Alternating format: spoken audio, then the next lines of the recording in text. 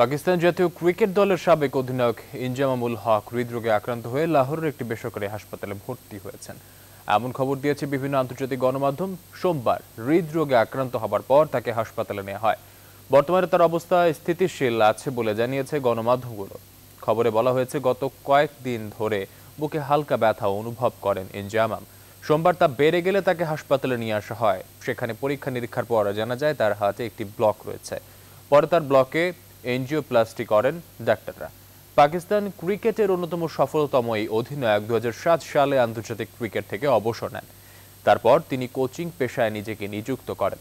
দু হাজার ষোলো থেকে দু হাজার উনিশ পর্যন্ত ইনজামাম ছিলেন পাকিস্তান ক্রিকেটের প্রধান নির্বাচক।